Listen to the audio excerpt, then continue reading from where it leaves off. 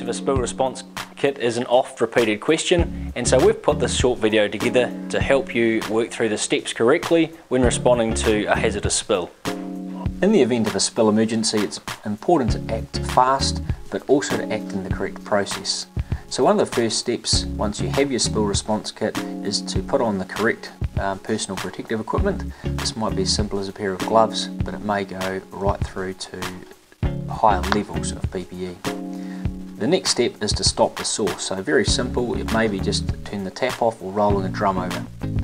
Then you also need to identify the liquid, just so you're as clear as you need to be as to the hazard involved and to make sure that you're aware of what you're dealing with. The next step here is to protect stormwater drains because as soon as the spill goes down the stormwater drain you have lost control of it and so using the likes of absorbent socks or drain covers you can protect that stormwater at that point. You'll see here working backwards from that stormwater drain the user can use the likes of the absorbent pads if the surface is smooth as a very effective way to quickly mop up a hazardous liquid. In the event the surface isn't smooth or you're having to work in undulating surfaces such as cracks or rough concrete, you can use the likes of the mineral sponge or another loose absorbent which will effectively draw a hazardous liquid out of an undulating surface.